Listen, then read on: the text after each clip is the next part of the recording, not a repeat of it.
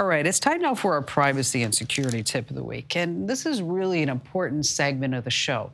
And in case you ever miss any of these, they're always available um, at the website too, at komando.com, of course, right under that show picks button. But it's this period, the segment of the show that I always want to make sure that you have, I guess you say, the arsenal so that this way all of your information remains private and secure.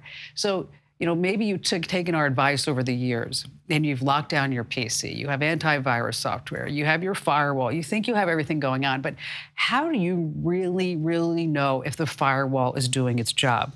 And that's the answer that we are going to give you on this week's privacy tip. Because the wrong port setting can leave your computer vulnerable to port scanners, giving hackers an opportunity to slip past. Also, if your computer has been exposed to a virus, it might have changed your port settings without you knowing. Um, I guess I should say, what exactly is a port? Well, your router has thousands of ports that let different kinds of information pass through. Like, have port 80 is always used for web traffic. Port 143 is for your IMAP email.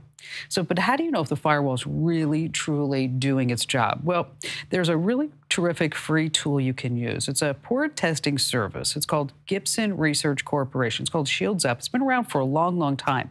It scans your firewall to make sure that your ports are not exposed and vulnerable to internet hacks. And if Shields Up can see your ports over the internet, then someone else can with the right port scanning tools.